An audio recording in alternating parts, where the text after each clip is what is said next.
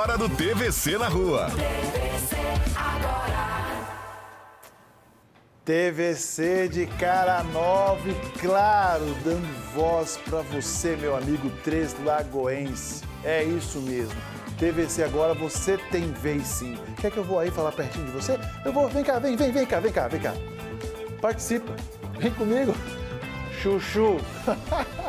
Olha só, o seu Miguel Souza, que mora lá na rua Egídio Tomé, mandou essa imagem aqui para nós, ó. A foto de uma obra que está sendo realizado lá no trecho próximo à Clínica da Criança. E ele está reclamando que há mais de 15 dias esse buraco aqui foi aberto para passar o esgoto, né? Da, da, da, da, da companhia de água. Só que é um túnel, estaria gerando risco para quem passa por lá.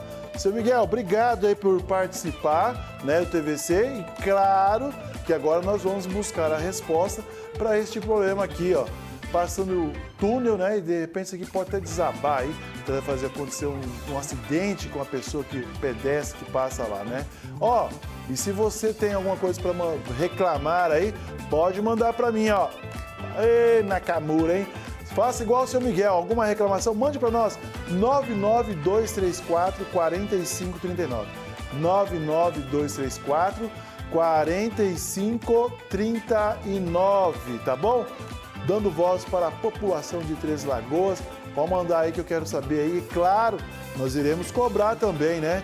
Não é só mostrar que a gente quer saber aí das autoridades, aqui no caso aqui da companhia de água e esgoto aqui que está responsável por essa obra e saber, ei, vai deixar assim? Vai ficar aberto?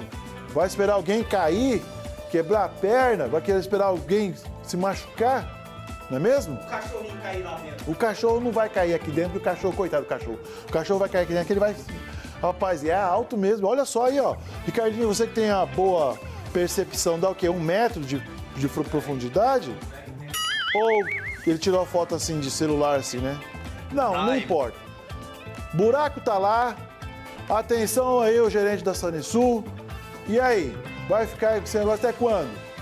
Até que dia? Precisamos de uma solução, resolver esse problema que os moradores já não aguentam. E realmente você passa lá, tá tudo interditado, tá uma bagunça. Tem a Jarim Mercante que está sendo também recebendo obras lá de pavimentação. Ó, tá difícil. Tá difícil.